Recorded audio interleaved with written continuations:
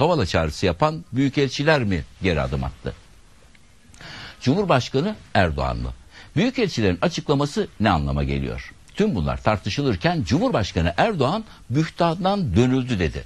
ABD Dışişleri Bakanlığı sözcüsü ise Kavala çağrısının Viyana Sözleşmesi ile tutarlı olduğunun altını çizildiğini söyledi. Avrupa'nın tavrında da bir değişiklik yok. Kriz şimdilik aşıldı ama 30 Kasım'daki Avrupa Komisyonu Bakanlar Komitesi toplantısının gündem maddesi yine Osman Kavala ve daha önce Kavala'nın tahliyesi için Türkiye'ye 30 Kasım'a kadar süre tanınmıştı bildiğiniz gibi. Aynı büyükelçilikler tarafından yapılan yeni bir açıklamayla yargımıza ve ülkemize yönelik bühtandan geri dönülmüştür.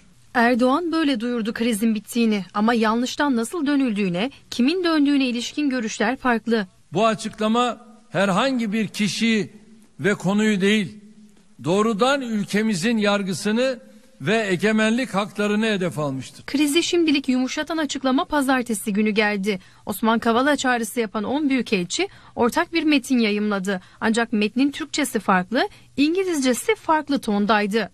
Türkçe açıklamada Viyana Sözleşmesi'nin 41. maddesine riayet etmeyi teyit eden büyükelçiler, İngilizce açıklamada ise sözleşmenin 41. maddesinin ihlal edilmediği mesajını veriyordu. İktidara yakın medya açıklamayı büyükelçilerden geri adım diye duyurdu.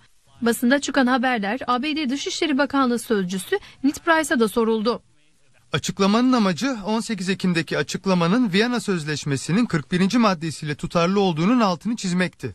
Hukukun üstünlüğüne bağlılığımızda ve küresel çapta insan haklarına saygı duyulmasında kararlıyız. Bu ilkelere bağlılığımız sarsılmaz ve Türkiye ile ilişkilerimiz de madde 41 ile tutarlıdır. Konuya ilişkin konuşan başka bir isim de Almanya hükümeti sözcüsü Steffen Seibert'ti. Büyükelçilerin ortak açıklamasından önce konuştu ama Almanya'nın konuya ilişkin tutumunu ortaya koydu. Natürlich nehmen wir die Äußerungen des türkischen Staatspräsidenten mit Sorge geäußert. Es gibt ein europäisches Menschengerichtshof-Urteil in Sachen Kavala aus unserer, nach unserer Überzeugung. Karşılıklı tonlar belki yumuşadı ancak kriz aşılmış değil.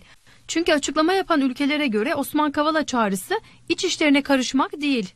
Tersine Türkiye'nin taraf olduğu uluslararası anlaşmalara karşı yükümlülüklerinin hatırlatılması. Büyükelçilerin açıklamaları ardı ardına gelirken o sırada bir açıklama da Avrupa Birliği'nden geldi. Cumhurbaşkanı Erdoğan'ın iş insanı Osman Kavala'nın tutukluğuna ilişkin açıklamaları nedeniyle 10 büyükelçiye yönelik açıkladığı tedbirler anlaşılmaz ve tamamen mesnetsizdir. Bunları ancak dikkati gerçek acil sorunlardan, iç ve ikili ilişkilerden uzaklaştırma girişimi olarak değerlendirebiliriz. Almanya'daki seçimleri kazanan Sosyal Demokrat Parti'nin dış ilişkiler sözcüsü Nils Schmid'e göre de gerginliğin asıl nedeni Erdoğan'ın iç politikadaki zaaflarını örtmeye çalışması. Schmidt zor diplomatik çalışmalar yürütüldü ancak sonunda Erdoğan geri adım attı dedi. Avrupa İnsan Hakları Mahkemesi'nin Osman Kavala kararını yeniden hatırlattı. Eğer karara uyulmazsa Türkiye'nin Avrupa Konseyi üyeliğinden çıkarılabileceği söylendi.